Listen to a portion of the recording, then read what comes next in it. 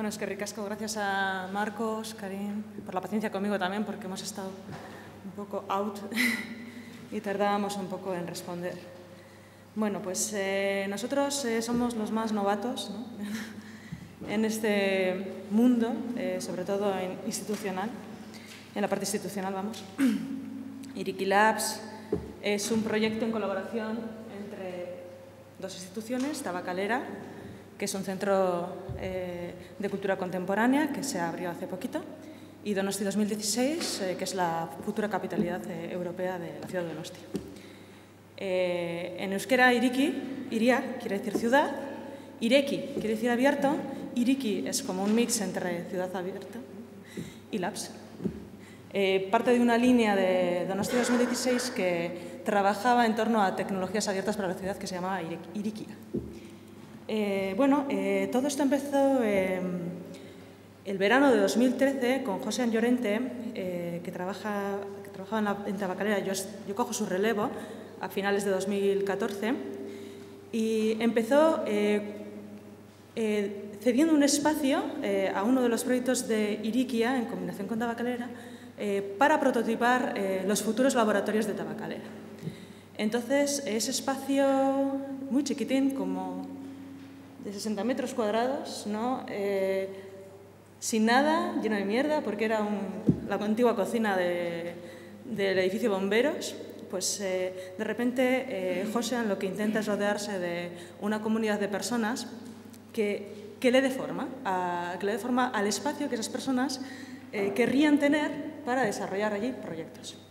Entonces, con esa idea de que la propia comunidad construya el espacio, se empiezan a desarrollar algunas eh, dinámicas, entre ellas construir eh, el mobiliario eh, propio del espacio, por eso nos conocen como los de los muebles, porque este mobiliario ha, sido muy significativo para, para Iriki Labs, no solo por, porque lo ha construido la comunidad, sino porque es que es útil, es muy chulo y, se está replicando por muchos sitios. Se construyen también las primeras máquinas, una fresadora CNC, las impresoras 3D y demás. Y cuando yo entro, hay bastante hecho y digo, qué bien. pues nada, solo me toca trasladar todo eso al nuevo edificio, porque ya había una pequeña comunidad, había un equipo de personas y bueno, era hacer el, traslado. Bueno, aquí veis un poquito. Esto es eh, el nuevo edificio, 30.000 metros cuadrados y en este edificio, en el anterior era muy difícil, era muy difícil crear comunidad y ahí se lo curraron mucho, porque para subir al laboratorio tienes que mandar un WhatsApp. Porque resulta que era un edificio que se utilizaba como oficinas y como estaba la puerta cerrada, la gente pasaba y decía, jo, nunca estáis abiertos. O sea, era muy complicado porque por mucho que abrieras la puerta, la gente de las oficinas cuando se iba cerraba. Se le olvidaba que en esa pequeña salita de 60 metros cuadrados había gente programando alguna actividad eh, de puertas abiertas. Entonces, bueno, ahora eh, nuestro miedo también era, que estamos en la tercera planta, al fondo, después de una pasarela un poco inaccesible, tampoco nos van a ver, pero no, resulta que por el momento se está acercando muchísimo, muchísima gente. El cambio eh, nos va a afectar. Por eso yo, mi charla todo es de futuro, porque hasta ahora hemos estado prototipando y ahora vamos a ver la que nos viene. ¿no? De hecho, ha, estado, eh, ha sido un concepto cerrado pues, por su propia casuística y de repente es, un concepto, aunque sea público ahora, es realmente abierto. O sea, es que es, la gente fluye, tú estás trabajando, se te acerca una señora y te pregunta. es así. Estamos, no estábamos acostumbrados a eso. Eh, esta es la pasarela actual en una acción que hicimos el domingo pasado. Para nosotros, increíble que haya tanta gente. Eh, y este es un taller de niños también impresionados. O sea, de repente la gente viene como eh, en bandadas. ¿eh? Es el efecto llamamiento de una eh, estructura muy grande. Ya veremos cuánto dura. ¿no? Bueno, ¿y qué es Iriki Labs? pues Iriki como indico aquí, es un laboratorio ciudadano y lo que trabajamos somos trabajamos en el ámbito de, la tecnología desde un punto de vista crítico, social, creativo y colaborativo.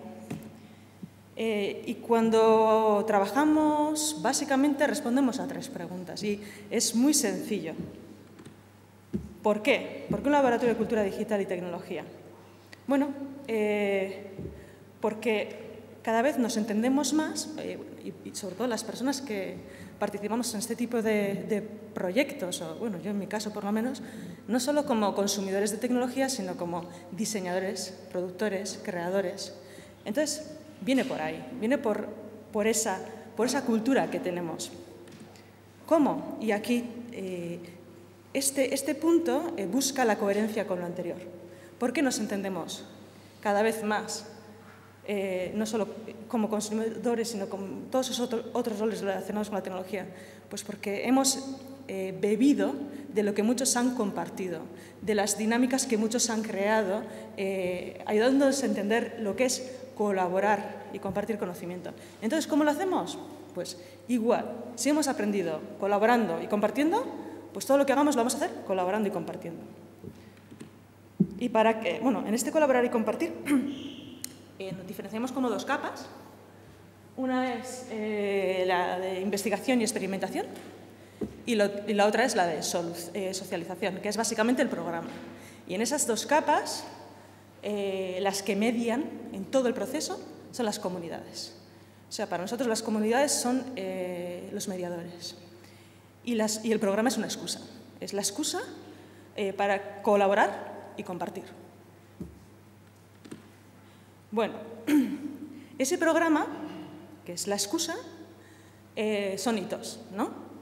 esos hitos son talleres, por ejemplo, aquí un taller de construcción de prusas, son eh, encuentros de comunidad. Las comunidades eh, pueden tener sus encuentros, sus momentos de programa para extender. Esta es eh, la comunidad de código creativo. Y son proyectos abiertos. Los jueves tenemos sesión de puertas abiertas y la excusa para venir a la sesión de puertas abiertas es participar en proyectos abiertos. Entonces, eh, dos veces al año lanzamos convocatorias. En este caso, por ejemplo, el, proyecto abierto era la construcción de materiales Montessori, digitalizar y fabricar materiales Montessori. Entonces, eh, la idea es eh, animar a las personas interesadas en diferentes proyectos, para eso los, los presentamos públicamente, a colaborar y compartir el conocimiento de esos proyectos. ¿Y para qué? Pues básicamente para incidir.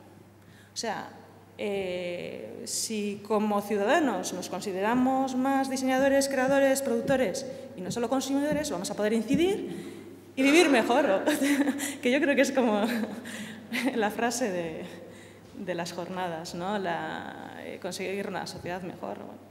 esa es la idea, por lo menos no ser tan manipulables. Eh, y bueno, ¿qué tecnologías utilizamos? Eh, aquí hablamos de tecnología en un sentido muy amplio, ¿eh? en los laboratorios. Eh, aquí soy como muy esquemática, pero básicamente es tecnología que permite la interacción máquina-máquina, humano-máquina, máquina-humano y humano-humano. Aquí en el humano-humano es lo que Richie venía llamando tecnologías blandas. ¿no? A mí, para mí es tecnología, igual, igual. Entendemos la tecnología como un conjunto de técnicas en un sentido amplio. Y yo es que soy muy esquemática y no sé, ya... me lo que me...